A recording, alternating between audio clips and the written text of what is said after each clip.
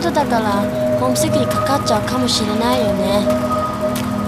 私がいなくなった後誰か様も置いてくれるかな。え？さあ行こどこに？うわかんない。行ったところやったところ。最後の日かもしれないもん